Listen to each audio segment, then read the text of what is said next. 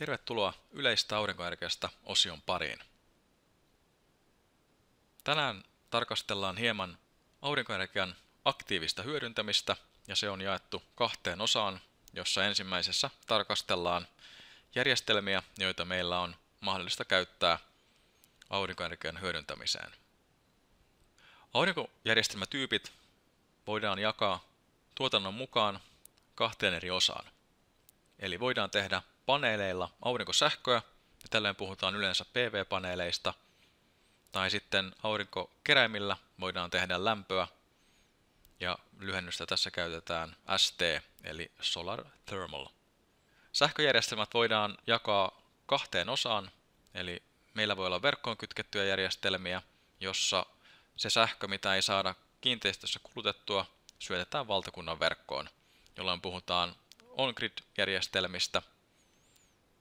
Ja sen lisäksi meillä on off-grid-järjestelmiä, puhutaan usein myös mökkijärjestelmistä, jossa tuotettu sähkö varastoidaan akustoon ja käytetään siinä paikan päällä tarpeen mukaan. Keräinpuolella meillä on nestekiertoisia keräimiä, yleensä joko taso- tai tyhjiöputkikeräimiä, joilla lämpöä tuotetaan. Näiden lisäksi on myös ilmakiertoisia keräimiä, jossa esimerkiksi ulkoilmaa voidaan lämmittää ja käyttää tätä lämmitettyä ilmaa sitten ilmanvaihdon yhteydessä.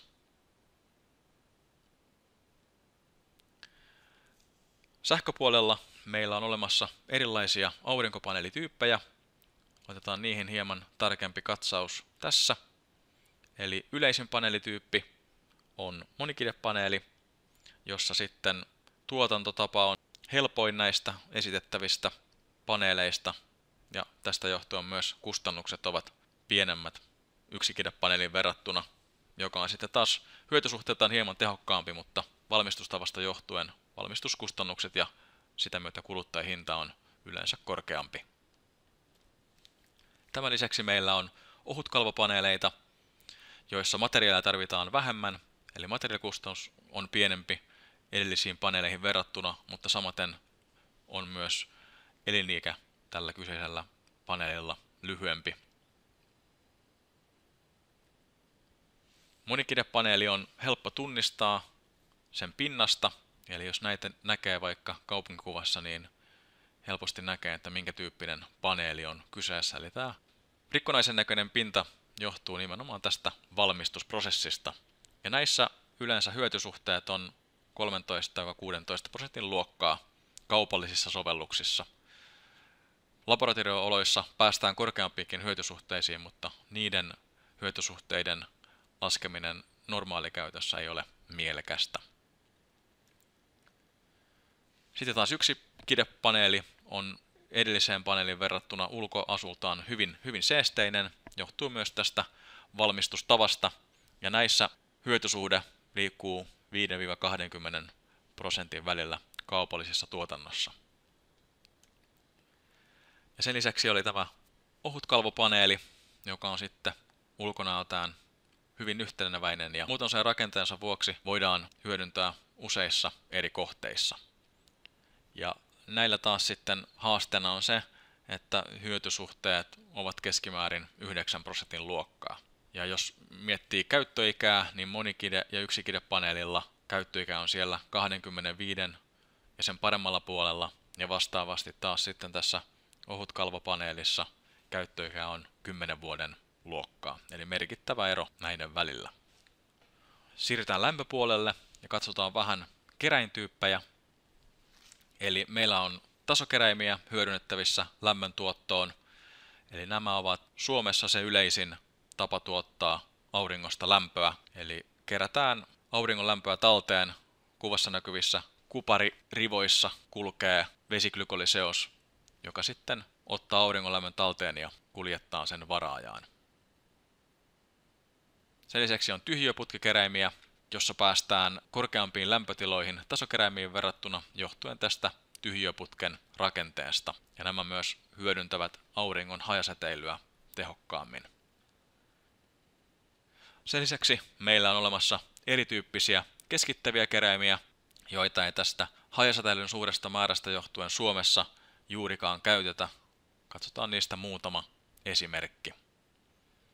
Eli meillä voi olla tällaisia parabolisia peilejä, jossa tuohon peilien yläpuolella kulkevaan linjaan keskitetään nämä auringonsäteet ja siellä linjassa kulkee sitten neste, jota näillä säteillä lämmitetään. Eli tämä vaatii sen suoran säteilyn suurta osuutta, jotta nämä saadaan hyötysuhteeltaan sopiviksi. Ja yleensä kyseessä on tällaiset suuret järjestelmät, joissa näitä sitten hyödynnetään esimerkiksi sähkön tuotannossa.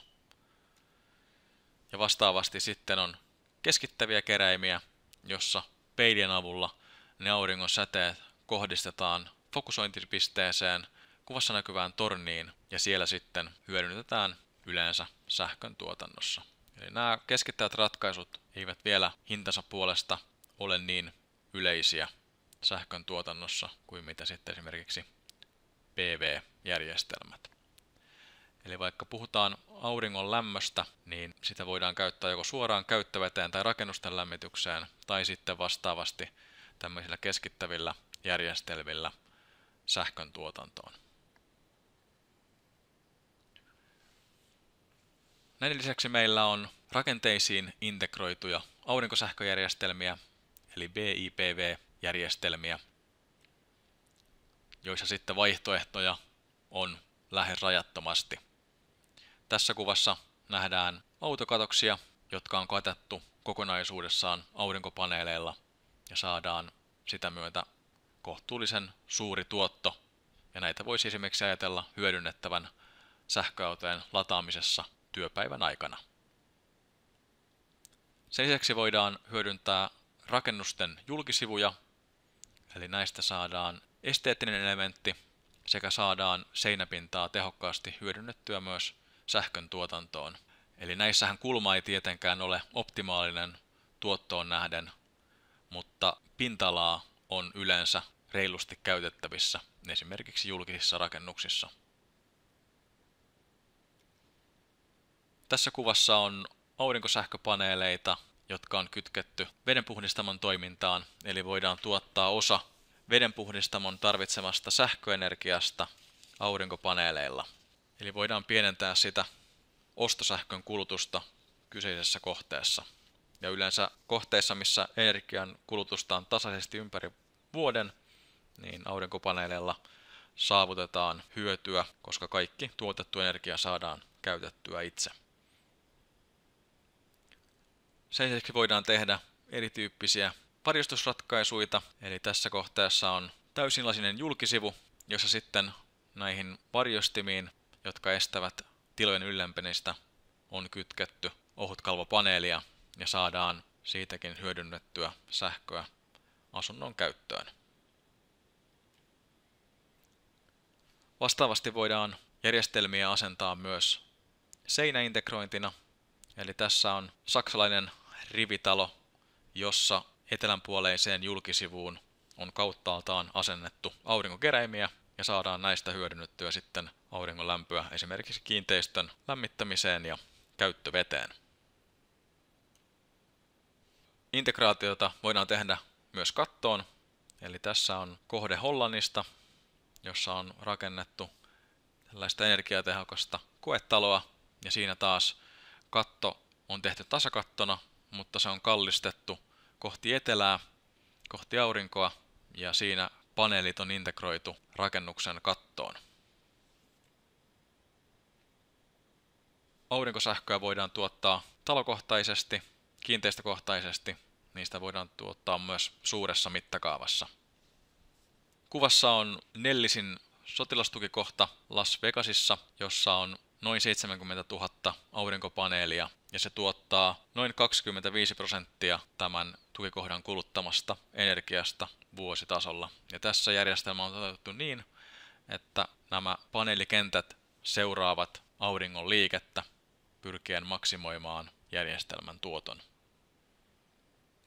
Ja vastaavasti voidaan tehdä isoja aurinkofarmeja, jossa sähköä tuotetaan keskitetysti isoilla kokonaisuuksilla. Eli aurinkosähkössä hyvä puoli on se, että se on hyvin skaalautuvaa, eli voidaan lähteä liikkeelle pienistä järjestelmistä ja kasvattaa sitä tarpeen mukaan suuremmaksi ja suuremmaksi. Tässä pieni yleiskatsaus siihen, millä tavoin aurinkoenergiaa voidaan aktiivisesti hyödyntää ja tarkastellaan näitä muotoja sitten tarkemmin tulevissa osioissa.